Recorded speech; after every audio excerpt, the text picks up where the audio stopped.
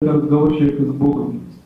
И вот э, сейчас много источников говорит, что вот эти взаимодействия, они бывают ну, с разными источниками. Бывает, что человек начинает, или так, по-другому слышу, да? Бывает так, что человек в молитве обращается там, к Богу, к Творцу, к Создателю, кому угодно, ну, понятно, да?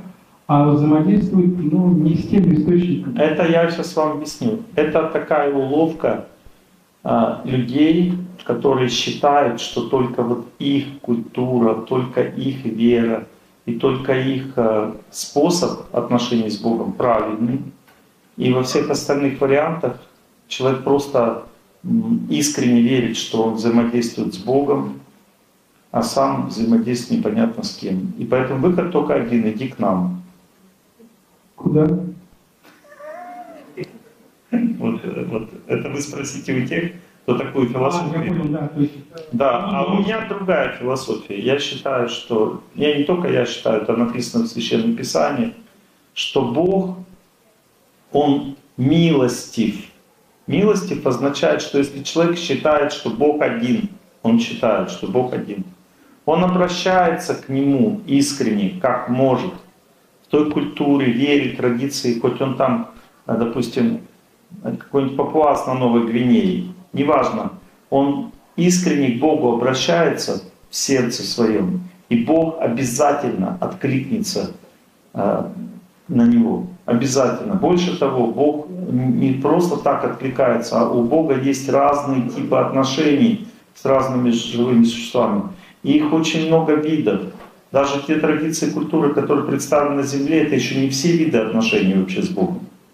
Понимаете, у него много-много видов отношений. И основные вот эти вот монотеистические культуры, они представляют разные вкусы отношений. Допустим, если человек хочет считать Бога непобедимым, сильным таким, чтобы он давал веру, силу, такое устремление к Нему, победу, величие, красоту, тогда человек выбирает ислам потому что там такие отношения с Богом.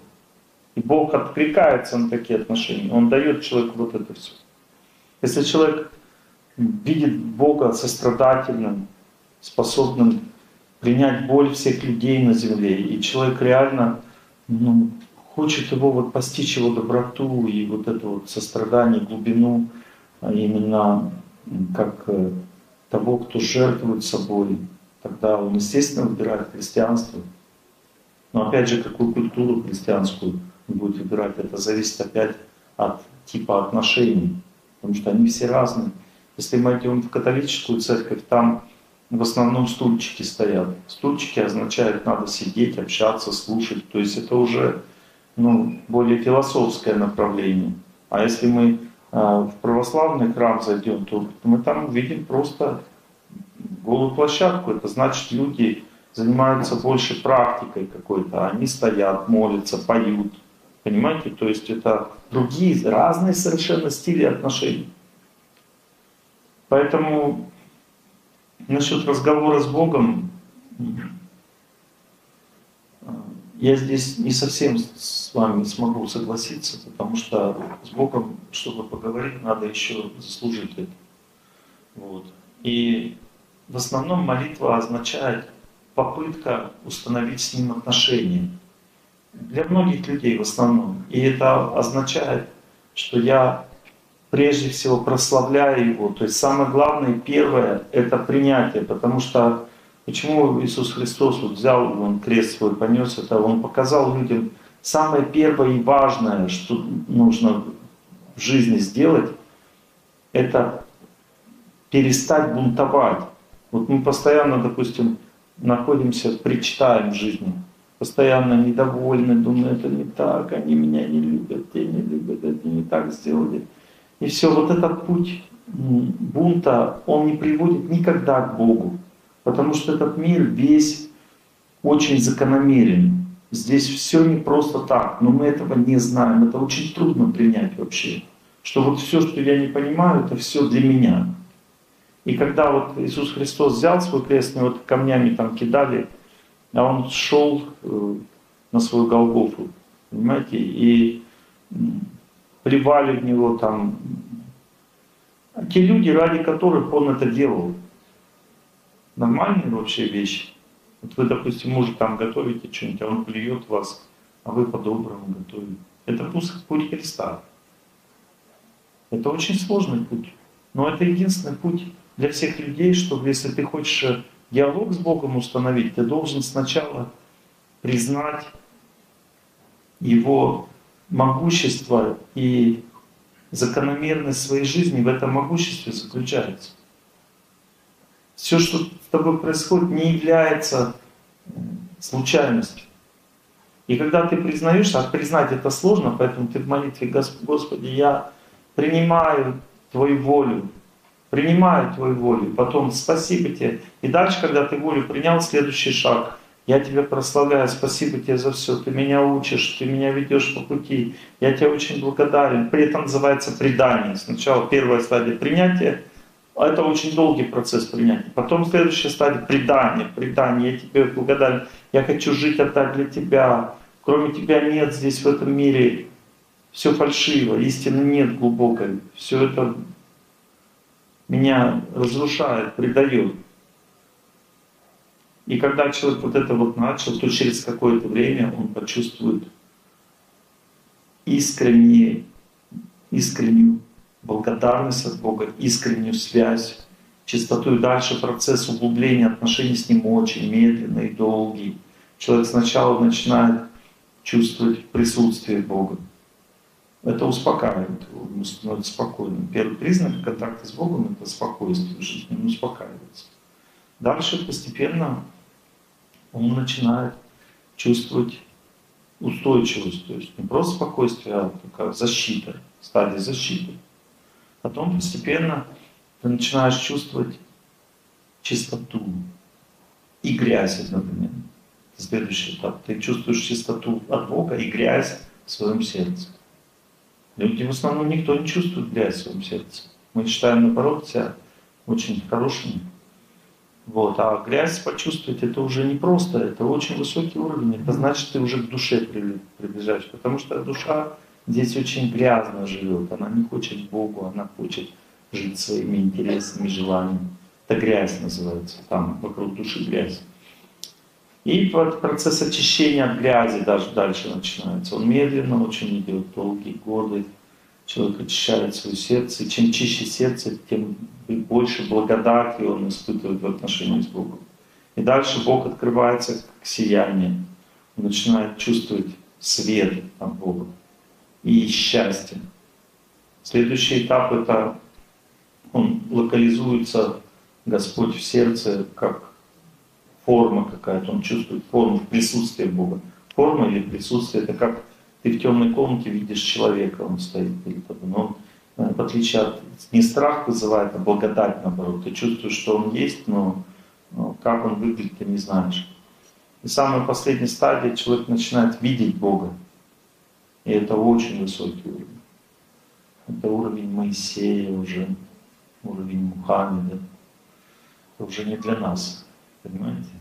То есть, ну, то есть это такой самый тяжелый путь и медленный в этом мире. Это то, что вы спросили. Извините, еще раз уточню. Вот, я желаю всем счастья, это много лет. Ваша... Это не молитва, это настрой. Это для тех людей, кто вообще не признает Бога. Вот есть люди, которые говорят, а Бога нет, а я хочу, хочу, чтобы у меня было все хорошо, что делать? Желаю всем счастья. Перестань думать о себе, желаю всем счастья. Я желаю всем счастья, это вот э, для тех, кто не признает присутствие Бога. Спасибо. Для каждого человека свой уровень. Надо это тоже понимать. Есть люди, которым даже сюда не надо идти, у них там есть свой храм, они уже какую-то практику практикуют свою. И они этим занимаются, им этого достаточно. Кто-то чувствует, что ему что-то надо другое, он ищет. Я предоставляю э, свои возможности. Вот все, что я знаю, я вам преподаю. Но это не значит, что вот только так и все. Здравствуйте, Олег Геннадьевич. Э, пришла за вдохновением. Э, я сейчас в процессе проработки последствий собственного невежества, и у меня форма а, духовной практики, она в юридической традиции, я выбрала текст из э, Джаджи. Я как-то, в общем, пришла за, чтобы получить какое-то направление здесь. И у меня я, вот, смотрите, вы выбрали, допустим, какую-то традицию. Направление уже вы будете получать от наставника своего, от духовного учителя. А я делюсь опытом здесь своим. Я просто вот имею опыт определенный, я им делюсь. Если кому-то этот опыт нужен, он получает. Я не даю направлений никаких. У каждого свое направление. Поднимите руку, кто христианин здесь. Я хоть раз влиял на ваше направление, скажите мне. Нет. Ваше направление с вами осталось, так? Кто мусульманин? Есть? Я влиял на ваше направление? Нет. Оно с вами. Кто-то ведическое, поднимите, кто-то ведическое. Я как-то влиял на ваши отношения с вашим наставником, на ваш процесс познания? Нет. Я делюсь опытом. Вот у меня есть опыт. Я 30 лет каждый день молюсь, совершаю глубокую практику, искренне даю знания людям. У меня есть опыт, и я им делюсь. Все. Вот эти, чем я занимаюсь. Больше я на себя не беру никаких других задач. Все остальное это вы сами идете по своей жизни. У вас есть духовное знание, есть ритуалы определенные, я туда не вмешиваюсь. Есть э, культура, допустим, ношение одежды, там хадж, допустим, или э, Великий пост, там, я не знаю, то есть у всех все по-разному. Я туда не вмешиваюсь. Вы ходите в свои храмы, вот, я туда никогда не, не буду вмешиваться, потому что это очень большое кощунство лезть в эту тему. Нет. Моя задача поделиться опытом. Все. И который можно использовать где хочешь уже. Потому что мое глубокое убеждение заключается в том, что духовный опыт не является чем-то принадлежностью какой-то одной веры, культуры, традиции. Это общее достояние. Как, допустим, есть опыт, допустим, вот там э, космическая, допустим, программа, да? Там, самое лучшее, если все страны вместе будут ну, это изучать. Это быстрее люди смогут понять, освоить космос, так? Когда они все вместе изучают. Также и здесь тоже. Вот все духовные культуры, традиции должны делиться опытом, я считаю, духовным. У всех разный опыт, у каждого в свою сторону сильное развитие. И если они начнут делиться, то тогда опыт объединится, он станет больше, опыта станет больше. Я вот так понимаю, это мое глубокое убеждение. Поэтому все самое лучшее, все, что я знаю, я даю вам, кто-то еще что-то даст. И так люди с мира по нитке собирают. Поэтому вы говорите, я пришла сюда, чтобы вы мне дали путь. Нет, вдохновение. Мне хочется, у меня личный вопрос, я его старалась общими словами задавать. А, просто вот периоды тьмы, физической зависимости, эмоциональной, я вот из них вышла, и сейчас у меня такой повышенный запрос на дисциплину и духовную работу. Все, вот. Этим здесь мы займемся. Вот. Спасибо. Однозначно.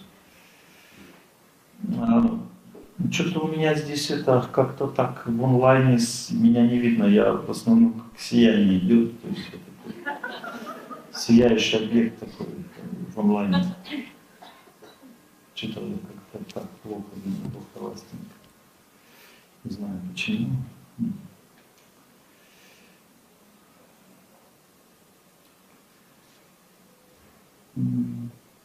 Мужчина вот темный волос.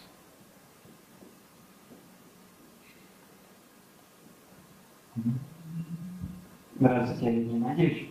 Хочу сказать вам большое спасибо за такую возможность и за задать вопросы, за то, что такие ретриты проводите. Я уже несколько лет хожу на них. И такой вопрос. Вот э, вы говорили, что на какой-то стадии появляется спокойствие. А, когда при этом сложность не меняется, но вроде вот это спокойствие появилось. Это значит, действительно преодолел часть, или это уже а, как с опасностью связано? Почему с опасностью? Появилось спокойствие, никогда не связано с опасностью. Спокойствие указывает на хорошую судьбу. Или на победу над судьбой, или на то, что вы сложную судьбу преодолели. Или просто у вас хороший период идет. А при этом а, нормально, что пока ситуация не меняется. А, это хороший вопрос. Вот смотрите, вот то, что он сейчас описал, это все должны знать. Вот у вас ситуация есть, да? Сердце спокойствия появилось, полное прям штиль. И думаешь, блин, а что ситуация-то не меняется? А потому что ты прошел первый круг судьбы. И на каждом круге судьбы будет всегда возникать ощущение, что я же все сделал, почему опять ничего не меняется? Потому что три девять земель, в тридевятом царстве, тридесятом государстве, три, слово три имеет значение. То есть ты спокойствие, а жена как там ушла, так и ушла. И она, ей пофиг, а тебе спокойно. Это первый круг судьбы. 33% ты прошел. Теперь дальше молись, и ты увидишь, что ты переключишься со своего сердца на отношения. Вот ты до этого жил внутри себя и пытался просто себя в порядок привести. Тебе плохо было такое, умирал. Ты себя привел в порядок. Это первый круг судьбы. А второй круг судьбы уже между нами идет. Потом раз резко тебе опять тяжелее стало. Было спокойствие, кажется, все нормально. А тут раз резко опять стало тяжело. Все, ты перешел на второй судьбы. Вторая ступень, первая ступень отвалилась, спокойствие. И что дальше? Вроде бы уже все, прилетели. Нет, там есть вторая ступень. Пошла гореть вторая ступень. И ты такой, вот пошел опять. Ну уже отношения, ты чувствуешь отношения между нами. Потом отношения очистились, все, она начала с тобой общаться, ты общаешься, все нормально. Чего не возвращается? Вроде все нормально. Потому что только две ступени, еще третья ступень есть. Потом раз, и ты начинаешь чувствовать человека, начинаешь чувствовать, что ты про него сделал не так, что он тебе сделал не так. Ты начинаешь чувствовать его глубину, в чем, собственно, его, ну, почему он ушел, почему, что ему не понравилось. На третьей ступени уже очень глубокая проработка идет. И когда третья ступень прошла, все равно человек может не вернуться.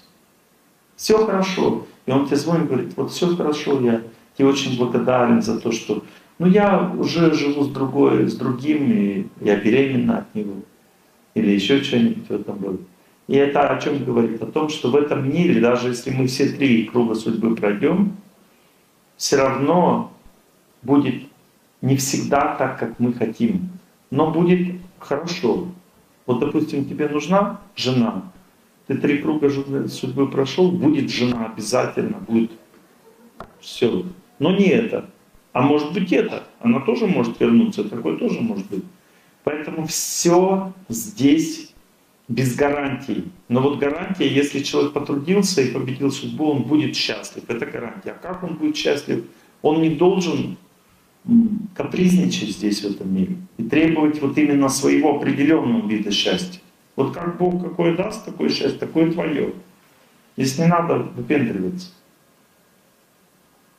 Есть люди, которые вот все классно делают. Я фильм смотрел про одного священника. Такая сюжет, он был в Италии, его должны были там кардиналом, по-моему, выбрать. Это католики. И на него там заговор сделали, и его там начали это прессовать, короче. И дошло до того, что их там всю жизнь его только гнобили. Он все время Богу благодарил, Бога благодарил за все. И потом он уже лежит при смерти такой, рядом с ним лежит э, человек, который разбился там, с высоты упал, и он плачет, кричит, помоги мне, я умираю, у меня там дети, жена, там. И он смотрит на него и говорит, тебе Бог уже помог. И он уходит из жизни. А то того все восстанавливается полностью. Все тело становится здоровым. И только после этого все люди поняли, что его, ну, на него клеветали просто, что это святой на самом деле. И ему начали уже там поклоняться как святому. лику святых причислили. А всю жизнь только, ну как бы Бог его все ниже, ниже, ниже опускал. Все больше в дерьмо. И у нас сразу возникает вопрос, а почему так? А ответ такой, потому что чем вот эту пружину, чем сильнее натянуть, тем потом она сильнее взлетает, потому что это птица другого полета, не как мы. Понимаете, это, этому человеку надо было очень сильно его пригнуть, чтобы он потом, оставив тело бренное, вознесся в духовную реальность, понимаете? Что это не такая птичка, как мы, другая. Поэтому э, Господь нагрузку дает разную всем. Но каждому человеку по его силам. Поэтому будет ли именно так, что ты прямо вот все получишь, то, что тебе нужно в этой жизни, неизвестно. Но известно другое, что если ты ничего не получишь в этой жизни, значит тебе что-то другое заготовано, как одна девушка а, в Украине жила там, не попал снаряд в дом, разрушила ее жилье, убила родственников всех. Она осталась жива. И здесь э, в России уже она подняла руку, говорит, Олег Геннадьевич, я не пойму, вот э, в чем как бы смысл? Вот, э, Бог меня всего лишил, у меня здесь ничего нет, ни работы, ни семьи, ни, ни жилья, ничего, у меня все было, ничего нет. Все потеряно. Я говорю, ну вы же чувствуете для чего? Он вам дал же сердце знаний. Она говорит, дал.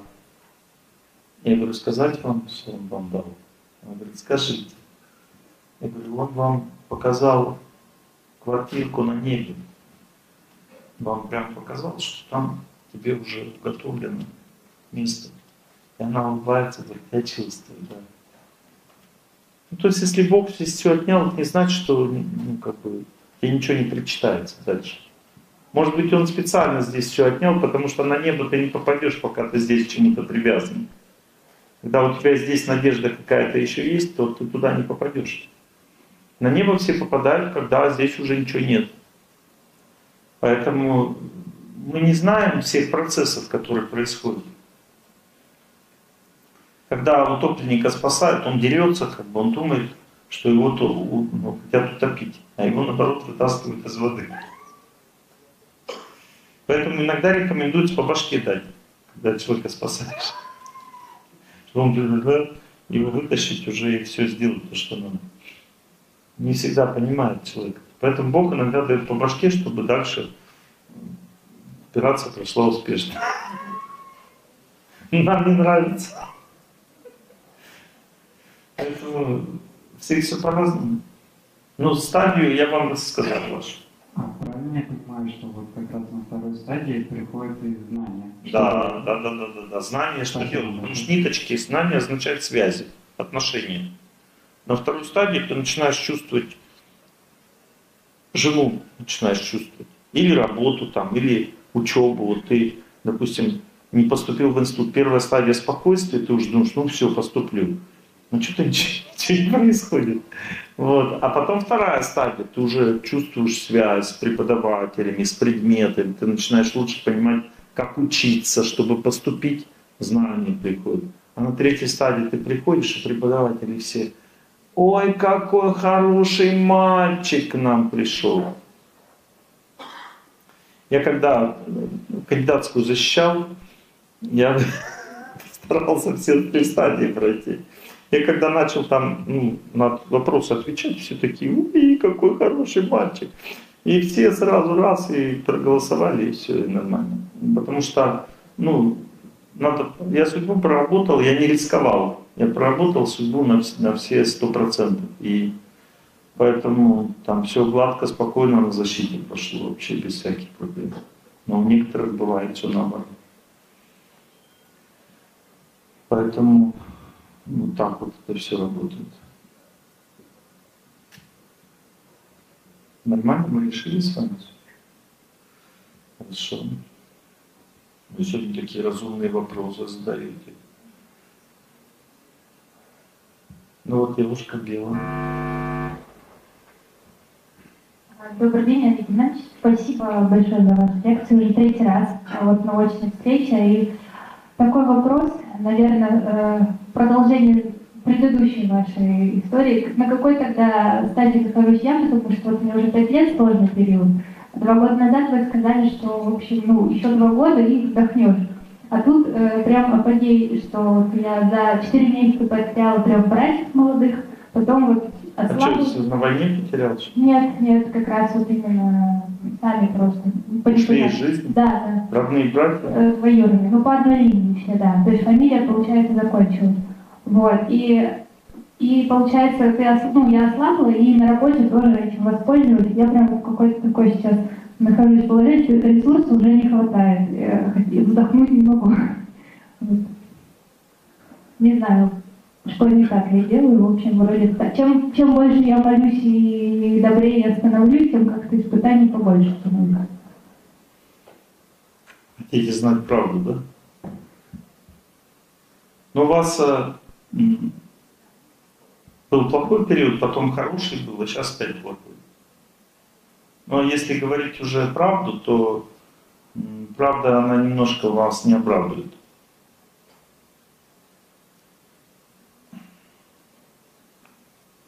Правда заключается в том, что вы в прошлой жизни жили выше Земли, находились на такой серьезной планете духовной, где очень серьезно занимаются духовной практикой. И там вы ну, в конце жизни оступились, перестали заниматься духовной практикой, расслабились. И как бы так. В результате вы попали на Землю, но вот этот запас у вас духовной прочности огромный, и духовная сила внутри вот вас живет, и поэтому Бог вас, э, ну, испытание вам дает в соответствии с вашим уровнем развития. Вы не знаете об этом, думаете, блин, все нормально живут, а чего как бы. Ну, у всех людей вот нормально они живут, они потом в следующей жизни опять на земле родятся там, или может в ад пойдут. Вам там уже уготовлено место. И пока вы туда не, не созреете до того места, вас Бог будет мучить. Легче не будет? Не, ну если вы очень сильно молиться будете и развиваться, то когда вы дойдете до этого уровня, станет легче. А в чем развиваться нужно? В каком направлении, если духовно? В памяти о Боге развиваться. И в предании, желании Ему служить, отдавать свою жизнь. Ну, православия достаточно это будет, да? Это вообще такой классный вопрос. А вы хоть знаете, что такое православие вообще или нет? Конечно, да. Конечно, если бы вы знали, вы бы этот вопрос не задавали. Потому что православие это Сергий Радонежский. Вы знаете, кто такой Сергий Да, Радонежский? конечно. Нет, конечно. Если бы вы знали, вы бы такой вопрос не задавали. Православие это Серафим Саровский. Это очень много святых, которые даже нам не снилось вообще именно понять их высоту, глубину. Если вы спрашиваете слово «достаточно», что вы имеете в виду? Грубо говоря, это как бы опора, вот это опора, которая у меня есть. Да у вас нет никакой опоры. Вообще нет. Но если бы она была, разве вы меня спрашивали? Если у человека есть опора, у него такая сильная опора, он такой... Он говорит, Олег Геннадьевич, а мне вот этой опоры достаточно, это означает, что он сумасшедший. У него такая опора, что он прямо... И еще спрашивает. Ну, а как облегчить себе? Молитвы? Вот, вот э, недавно прочитал, что один мужик выиграл миллиард рублей в лотерею. И представьте, он на лекции спрашивает, а мне достаточно вот я выиграл или нет? Это странный вопрос. Поэтому, если вы спрашиваете, значит, вы не знаете эту веру. Вот в этом вся проблема. Что вы дешево воспринимаете то, что имеете. Дешево.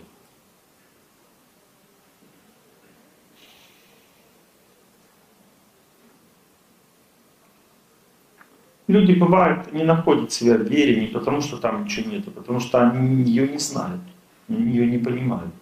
Человек бьется, бьется, как рыболит, не понимает.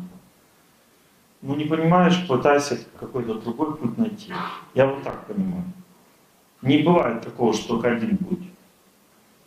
Но если ты все понимаешь, ты чувствуешь, это твоя вера, зачем тогда сомневаться? Иди дальше, ничего не спрашивай. Тебе Бог уже все дал.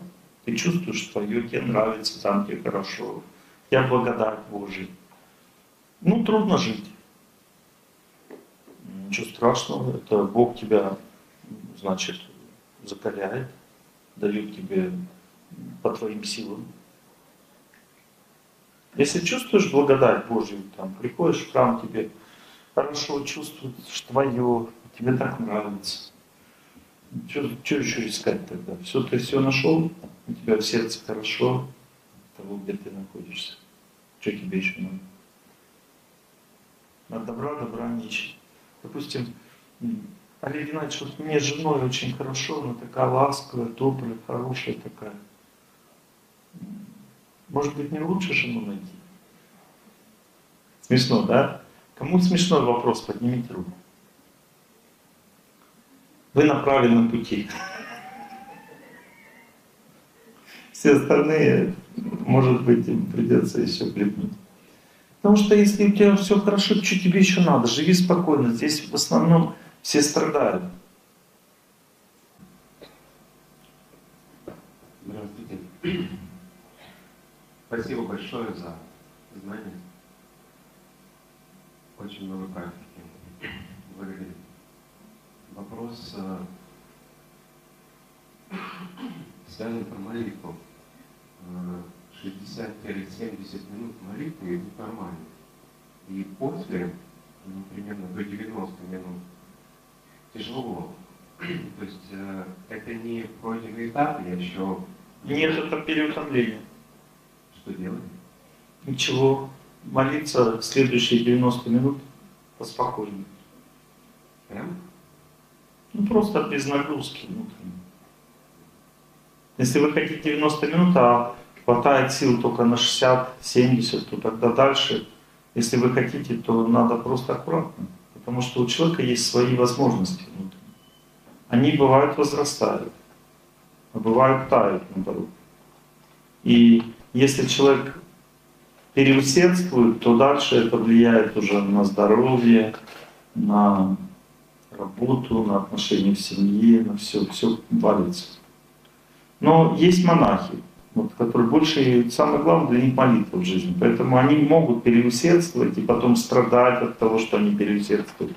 И повышать свои возможности через это. Но это другой путь, это не путь обычного человека, который работает, там, дети, жена, дом, работа и плюс еще молитва. Этому обычному человеку путь середины, то есть он помолился, чувствует уже переутомление. Все, достаточно. Или я хочу еще, но спокойнее уже. Спасибо. Можно еще один вопрос, да. связанный с ну, как бы ориентиром. Это плохой период или нет? Ну, допустим, я слушал одну из ваших лекций, где вы рассказывали про, ну, в частности, свой случай расскажу. То есть я чувствую, когда на работе было два раза так яркого момента, когда глаз, э, ну не сам глаз, а вокруг э, начинается дергаться. Я э, нашел способ, как это решать. И недавно... Сам глаз может быть связан с болезнью или перенапряжением. Давайте, если вы говорите о знаках судьбы, я вам немножко расскажу. Знаки судьбы — это вопрос-ответ всегда. Это не то, что я что-то делаю, у меня глаз задергался, значит все, капец. Или ворона пролетела, значит суши весла. Или кошка перебегает дорогу, надо ей остановить путь, иначе все, труба. Вот, понимаете, здесь знаки судьбы означает, я работаю, начал думать о начальнике, раз глаз начал дергаться, правый, значит будут трудности с начальником.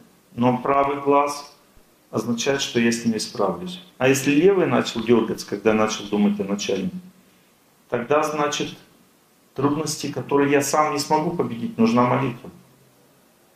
И здесь очень важно понять, что есть еще и третья вещь, чтобы не было здесь никаких случайностей. Три вещи должны совпасть. Первое. Я подумал о начальнике. Второе, задергался глаз.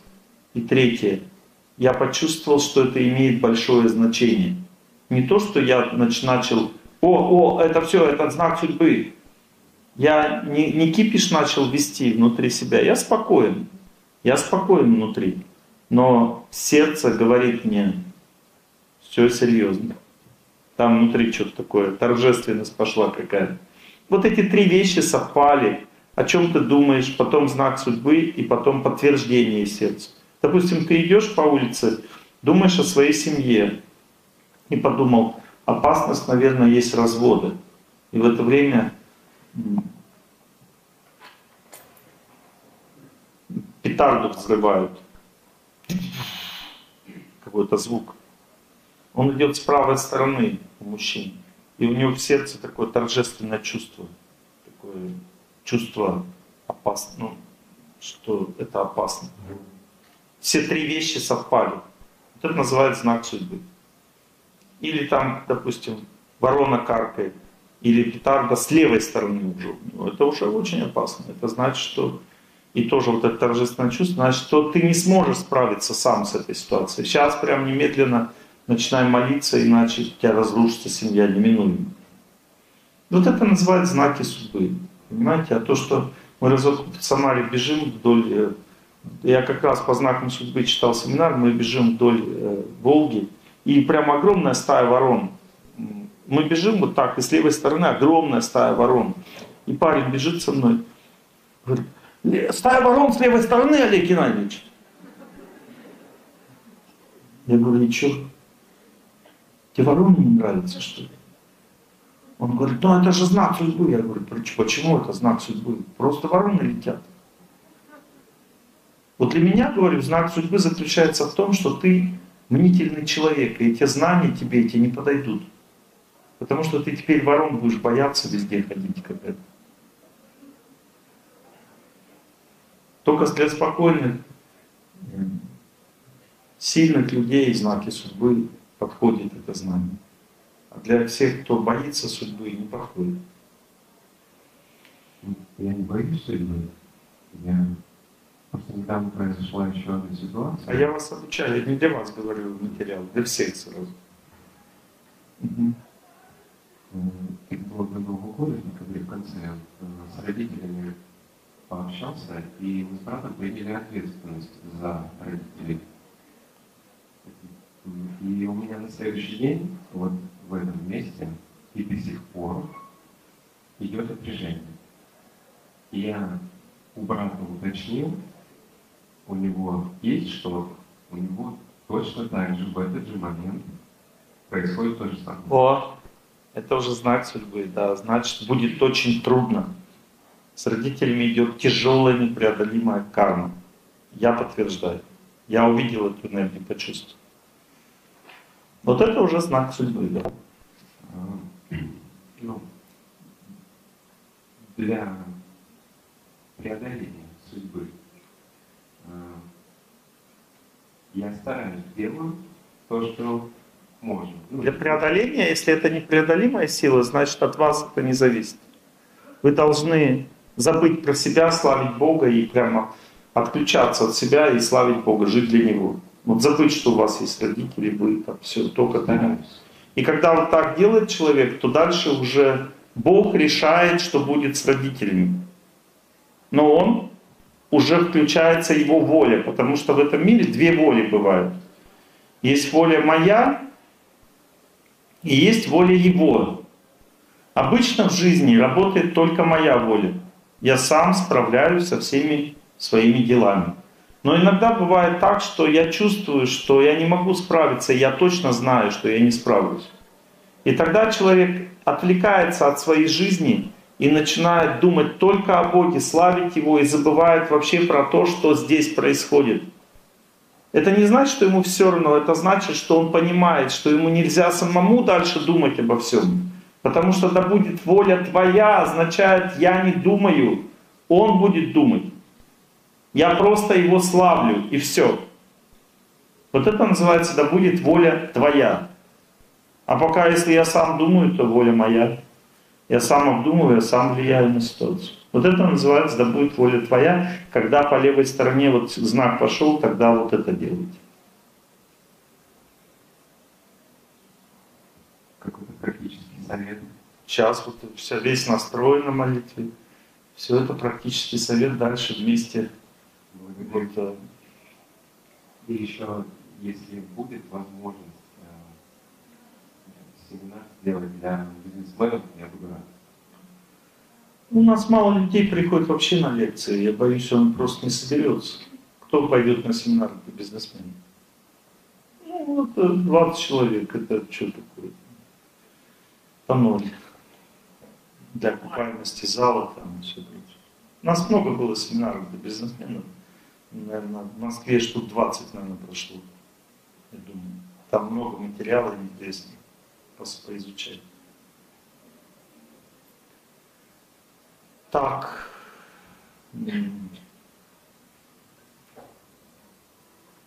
Хорошо, ну, хорошие, тогда я начинаю настройку. Все двери открываем, воздуха уже не хватает. И я больше не буду повторять эти слова. В дверях никто не должен стоять, потому что когда люди стоят в дверях, много процентов воздуха не заходит. Вот один человек в дверях встал, уже на, на 15 процентов меньше воздуха идет сразу же. Поэтому мы из- от дверей все отходим, стоим где-то в другом месте. Двери свободные.